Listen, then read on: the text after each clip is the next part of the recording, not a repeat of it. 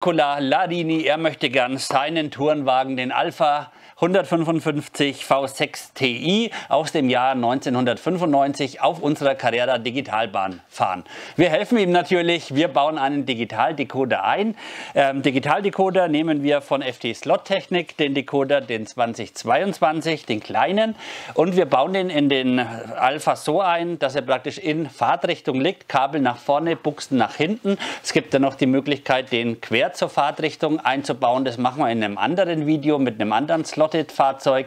Wir schauen einfach mal, ob das gut funktioniert, schlecht funktioniert, wo Probleme auftauchen. Wenn Probleme kommen, ihr wisst Bescheid, die werden gelöst. Wie heißt es so schön, ein Modellbauer schafft sich Probleme, die er dann hinterher lösen muss. In diesem Sinne, viel Spaß beim Video.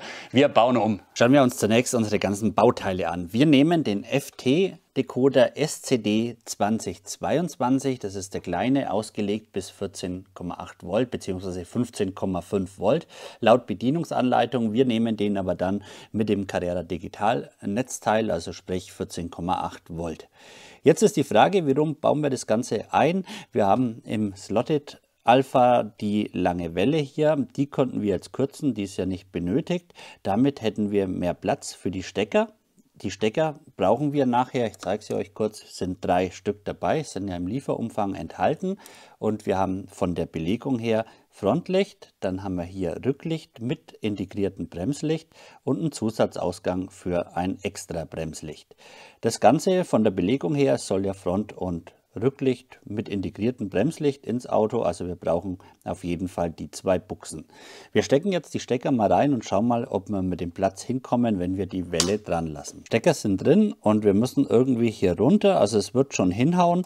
Wir können mit den Kabeln dann unter der Achse durch. Funktioniert auch. Somit können wir die Welle eigentlich dran lassen. Was wichtig ist, dass wir auf keinen Fall diese Stelle blockieren, also die Verbindungsstelle zwischen dem schwarzen Fahrwerk und dem grauen Motorträger. Wenn ich die Schrauben nämlich locker und möchte, dass ich hier eine Pendelbewegung reinbekomme, also dass der ganze Motorträger samt Hinterachse locker im Fahrwerk drin hängt und ich habe hier irgendwas verklebt, dann behindert man diese Pendelbewegung und das macht natürlich das optimale Fahrverhalten dann wieder irgendwo kaputt. Also da auf keinen Fall Kleber hin, das heißt unser Decoder muss vorne rein und im vorderen Bereich, da müssen wir dafür sorgen, dass die Kabel die Achse nicht berühren. Das sind mal die zwei Herausforderungen. Erstmal für die Platzierung des Decoders. Nächste Überlegung, die wir dann machen müssen, wohin müssen welche Kabel?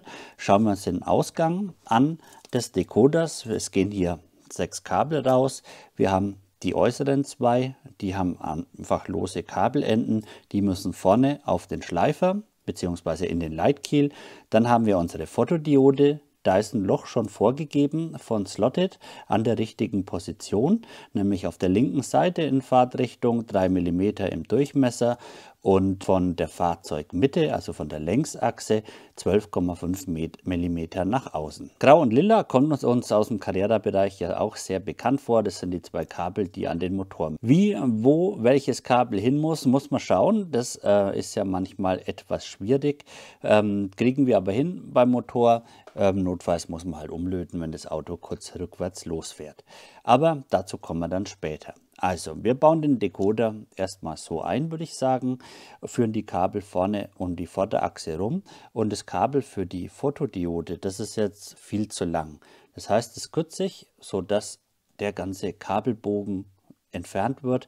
Ich kürze das Kabel so, dass ich wirklich ganz direkt auf den Decoder draufkomme. Dann sparen wir uns dieses Kabel irgendwo anders zu verlegen. Vorne gehe ich durch die Kabelführung einmal hier rüber und einmal auf der Seite auch zum Schleifer. Das heißt, wenn der Decoder jetzt hier mittig platziert wird, werde ich ein langes und ein kurzes Kabel haben.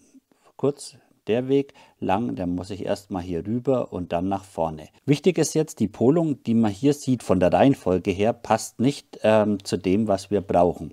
Wir brauchen das Pluskabel auf dieser Seite, also links in Fahrtrichtung und wir brauchen das schwarze Minuskabel auf der rechten Seite in Fahrtrichtung. Also hier müssen wir einmal überkreuzen, damit die Polung dann auch stimmt und unser Auto funktioniert. Im ersten Schritt entlöten wir mal das Kabel. Ich gehe vorne mit dem Lötkolben drauf, warte bis das Lötzinn flüssig ist, ziehe dann mit der Pinzette das Kabel einfach ab. Auf der anderen Seite dann das gleiche, Kabel entlöten, wegnehmen. Das war es jetzt erstmal mit der Lötarbeit an der Stelle. Jetzt müssen wir vorne die Kabel noch rausbekommen und das sieht man im Leitkiel kleine Madenschrauben. Wir brauchen einen 09er Inbusschlüssel, ziehen die Madenschrauben nach oben raus dann oder drehen die raus besser gesagt und dann kann ich das Kabel entfernen.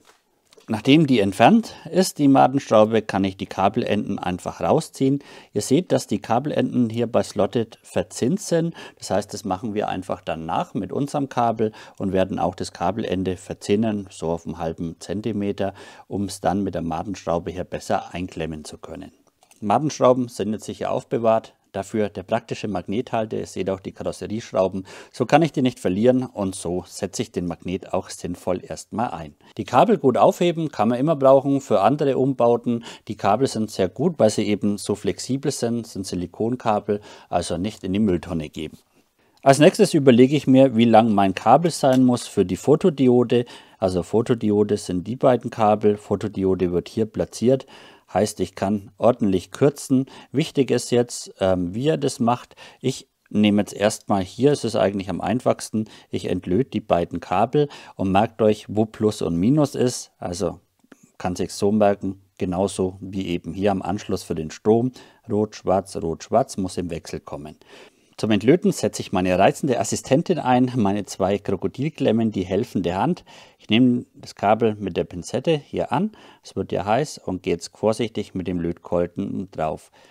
So, jetzt ist das Kabel schon sauber entfernt. Wichtig ist, die Krokodilklemmen natürlich so positionieren, dass ihr keine Bauteile beschädigt. Also ich habe die jetzt hier auf der Rückseite von der Platine und vorne am Gehäuse der Buchse. Somit kann nichts passieren. Also da aufpassen. Das ist noch eine kleine Stolperfalle, auf die, in die man reinfallen kann.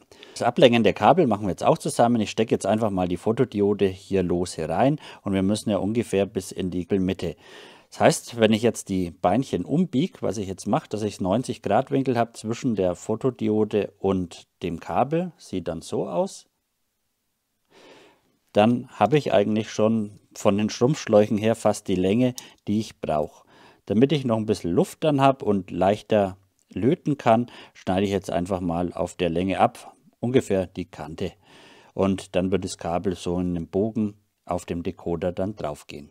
Damit das Anlöten leichter wird, verzinne ich jetzt erstmal die Kabelenden, gebe etwas Lötzinn drauf, sodass eben das Kabelende schön silber ist. Und jetzt tue ich mich viel leichter, die Kabelenden auf der Platine wieder aufzulöten. Wie angesprochen müssen wir jetzt darauf achten, dass die Polung stimmt. Wir haben uns ja gemerkt, rot, schwarz, rot, schwarz. Somit habe ich das schon mal richtig ausgerichtet, muss jetzt dann bloß noch das Kabel hier auf den Pin bringen. So, das war's dann auch schon. Kabel sind wieder dran, Kabel gekürzt, passt provisorisch einfach mal platziert. Kabel läuft dann unterhalb vom Decoder, auch unterhalb von der Achse. Fotodiode sitzt. Um den Rest kümmern wir uns dann jetzt.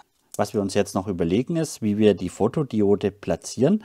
Mitgeliefert ist ja eine kleine Fassung für die Fotodiode hier vorne, aber wir können die nicht richtig platzieren wegen dieser Wand. Die Frage ist jetzt, was wir machen. Wir konnten ein Stück vom Gehäuse wegnehmen, damit ich rankomme an die Wand. Wir konnten was von der Wand wegnehmen oder wir machen weder noch und kleben die Diode so ein. Problem hier ohne dem Gehäuse ist dann, dass die Fotodiode, wenn ich die bis zum Anschlag reinschiebe, ich zeige es euch mal, dann schaut die Fotodiode auf der anderen Seite viel zu weit raus. Ihr seht, wird dann sogar auf der Bahn schleifen. Die sollte bündig sein. Also ich muss nach oben und da hat das Gehäuse natürlich einen Vorteil, dass ich die Fotodiode dann gleich auf der richtigen Höhe habe. Halten wir das Gehäuse einfach provisorisch mal hin und dann sieht man, dass es eigentlich doch nicht so schlimm ist. Wir haben zwar minimal einen Versatz zwischen der Bohrung und dem Gehäuse, aber ich denke, das ist so minimal, dass wir das einfach lassen können. Somit klebe ich das Gehäuse jetzt einfach so ein und wir schauen einfach, ob es funktioniert und es wird schon funktionieren. Zum Verkleben gebe ich erstmal einen Tropfen Sekundenkleber, dünnflüssig, schnell trocknen, auf eine Plastikfolie, nehme dann das Gehäuse, tauche das hier kurz ein, klebe also indirekt nur die Unterkante und platziere die ganze Sache jetzt. Warten wir kurz, bis der Kleber anzieht. Schauen nochmal, ob alles gut ausgerichtet ist. Ich habe es jetzt noch etwas ausgerichtet. Wir lassen es jetzt einfach trocknen und warten, bis das wirklich fest ist. Nicht, dass wir jetzt irgendwie Sekundenkleber auf die Finger bekommen, greifen dann auf die Reifen, haben dann den Kleber drauf, wollen wir nicht oder noch schlimmer auf der Karosserie, auf dem Lack. Deswegen immer austrocknen lassen und dann erst den nächsten Arbeitsschritt machen. In der Zwischenzeit machen wir uns gleich Gedanken, wie wir den Decoder dann einkleben. Ich nehme dazu immer ein Stück Moosgummi, gibt es ja selbstklebend, also ist wie ein doppelseitiges Klebeband letztendlich. Und wir nehmen dann die Seite mit dem Klebeband und platzieren hier den Decoder drauf. Vorteil an dem Moosgummi ist auch, dass die Pins, die unten rausstehen, einfach in den Moosgummi reinstechen und ich habe dann eine schön ebene Fläche letztendlich, um die so auch ins Fahrwerk reinzukleben. Kümmern wir uns im nächsten Schritt um die Anschlusskabel für den Motor. Hier empfehle ich euch, die Kabel immer erstmal so abzulängen, dass ihr im Notfall die Polung nochmal tauschen könnt. Ähm, es ist meistens so, dass ein Motor irgendwo eine Markierung hat für Plus und Minus, haut aber oft nicht hin, ähm, vom Getriebe her auch, dass das Plus und Minus dann mit der Fahrtrichtung übereinstimmt. Also geht davon aus, dass ihr hier vielleicht nochmal umpolen müsst. Und zwar, wenn ihr dann im ersten Test merkt, dass das Auto rückwärts fährt beim Gas geben, dann müsst ihr hier die Polung einfach nochmal umdrehen. Deswegen immer die Kabel so lassen, dass das auch nachträglich möglich ist. Wenn ihr euch das Umlöten sparen wollt, dann auch noch eine andere Möglichkeit, die Polung vorher zu testen. Ich habe einfach an mein Netzteil mal 5 Volt dran und gehe jetzt auf den Motor und schaue, wann das Auto vorwärts zuckt. Also plus mal auf die Seite, minus hier. Ihr seht, es zuckt nach vorne. Nehmt nichts andersrum, was wir jetzt da nicht machen sollte eigentlich. Dann fährt es rückwärts. Also ich habe auf der linken Seite plus und hier minus, dass das Auto nach vorne fährt. Können wir uns dann gleich mal merken. Ich schreibe es euch drauf, dass wir es nicht vergessen. Auf der Seite ist Minus. Dann müssen wir jetzt nur noch wissen, ist lila oder grau minus. In unserem Fall ist grau minus, das heißt, wir müssen daran, würde schon passen dann von der Ausrichtung. Machen wir gleich, ich habe die Kabelenden in der Zwischenzeit noch verzinnt, somit ist das Auflöten dann wieder ganz einfach. Das Ganze machen wir auf der anderen Seite auch und dann ist unser Motor angeschlossen. Als nächstes klebe ich jetzt erstmal unseren Decoder fest, dass der mal fix ist und wir die restlichen Kabellängen schön ermitteln können. Ich platziere ihn so, dass später, dürfen wir nicht vergessen, die Lichtstecker reinpassen müssen und wir dürfen den Spalt ja nicht bedecken. Einkleben könnt ihr mit Heißkleber zum Beispiel, dann kann man es auch wieder lösen, falls jetzt was schief geht. Oder ihr nehmt einen anderen Kleber, der dann auch den ein oder anderen Crash überstehen kann. Eine wichtige Sache noch im Bereich der Vorderachse, die habe ich jetzt mal rausgenommen. Die Vorderachse läuft unten auf diesen Kunststoffplättchen. Die Kunststoffkappen, die sind da aufgesteckt und also wenn ihr die Achse rauszieht, fallen die erstmal raus. Und jetzt seht ihr auch das Problem, worauf ich hinaus will. Auf der Seite läuft unser Kabel und schiebt die Kappe nach oben. Das heißt, hier kriege ich es mit den Kabeln gut hin. Ich habe links und rechts Platz damit das Ganze schön sauber verlegt ist. In, in dem Bereich, da habe ich mir jetzt ein Problem geschaffen, müssen wir halt dann lösen, indem wir die zwei Kabel der Fotodiode hier noch runterschieben. Dann läuft dieses Kabel auch nicht direkt an diesem Achsbock und ich kann meine Kappe aufsetzen, genau wie auf der anderen Seite, dass die hier locker auffällt. Das mache ich dann erst, wenn alles komplett ausgetrocknet ist und ich auch hier ein bisschen Druck ausüben kann, aber wichtig eben, dass ihr auf diese Stelle achtet. Die Kabelführung habe ich jetzt nochmal minimal geändert, weil ich eben noch sicher gehen wollte, dass diese Kappen wirklich ganz leichtgängig hier drauf gehen. Ist jetzt links und rechts der Fall. Auch das schwarze Kabel unten stößt nicht von unten an. Kappe liegt ganz locker auf bis auf Anschlag.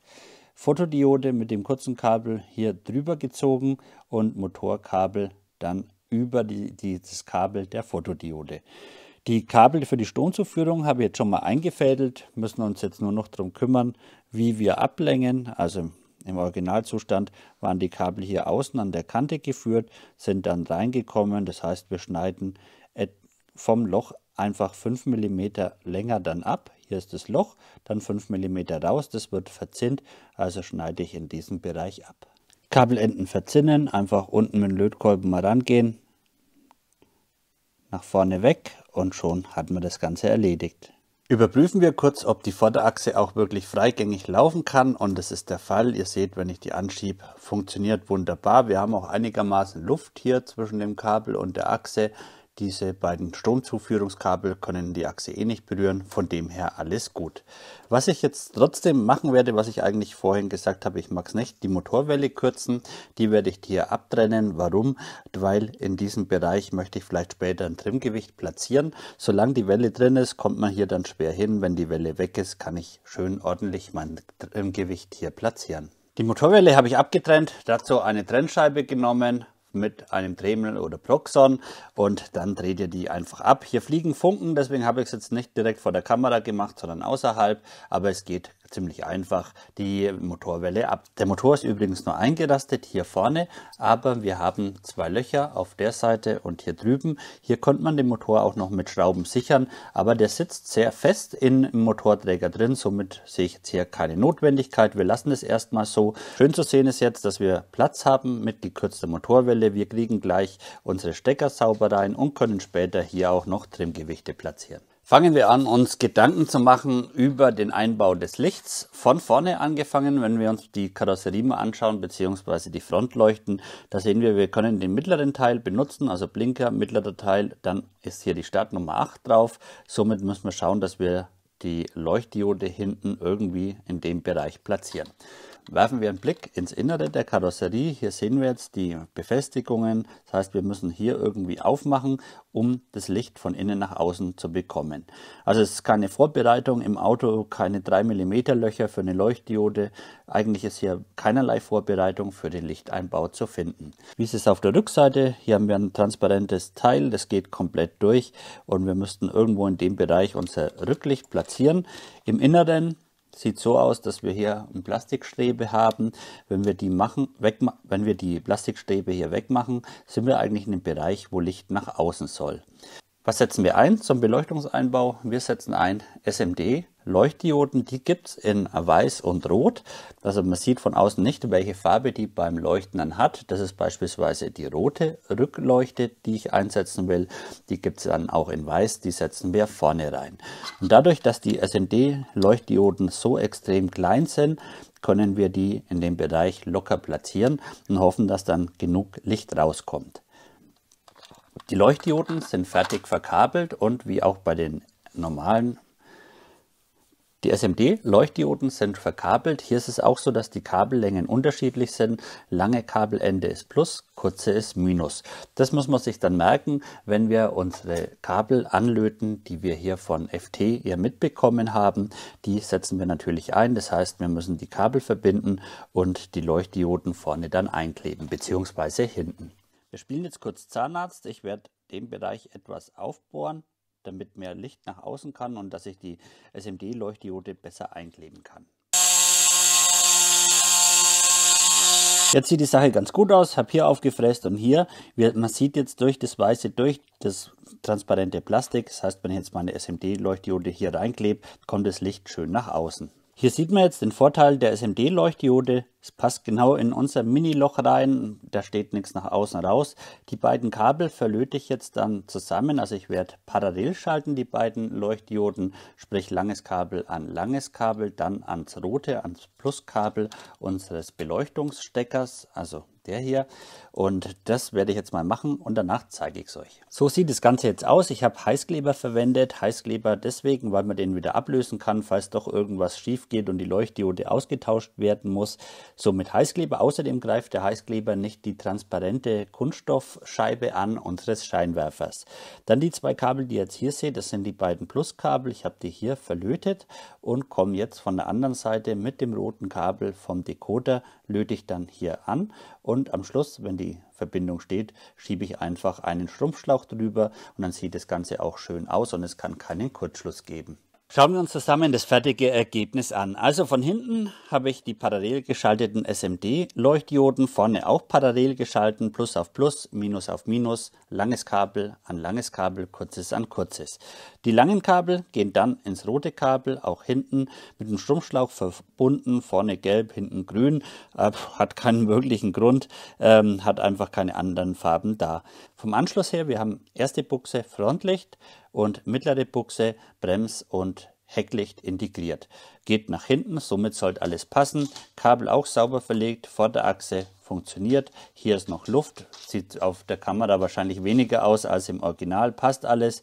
Fotodiode sitzt fest. Somit können wir jetzt eigentlich mal den ersten Tracktest machen und schauen, wie das Ganze in der Praxis aussieht. Wir sehen, das Ganze funktioniert wunderbar. Frontlicht sieht eigentlich ganz gut aus. In der Kamera natürlich etwas anders als in echt. In echt sehe ich doch eher punktuell die Scheinwerfer. Sieht aus wie in echt. In der Kamera leuchtet der ganze Balken. So ist es in der Realität nicht. Heckbereich sieht auch ganz gut aus, vielleicht etwas zu klein, man könnte noch weiter aufbohren, aber es wird dann wahrscheinlich zu flächig, von dem her bin ich auch somit ganz zufrieden. Wie gesagt, auch hier wieder ein Riesenunterschied zwischen dem Bild in der Kamera und in echt. Auftrag ausgeführt, der Herr Larini darf jetzt auf der Carrera Digitalbahn fahren und zwar auch noch mit Licht. Ich hoffe, euch hat es gefallen. Wenn ihr noch Hinweise habt, irgendwelche Methoden, andere Verbesserungsvorschläge, schreibt einfach in die Kommentare. Wir können uns gerne immer austauschen darüber. Ich ich wünsche euch viel Spaß beim Slot Racing, Kanal abonnieren. Wir sehen uns im nächsten Video. Euer Roland von slotblog.de.